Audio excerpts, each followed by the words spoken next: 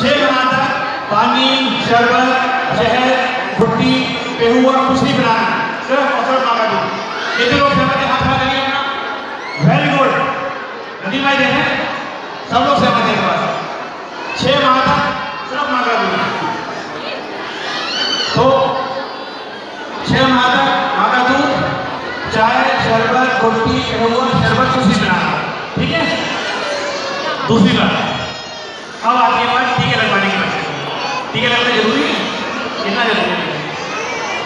कौन सा टीका लगाते हैं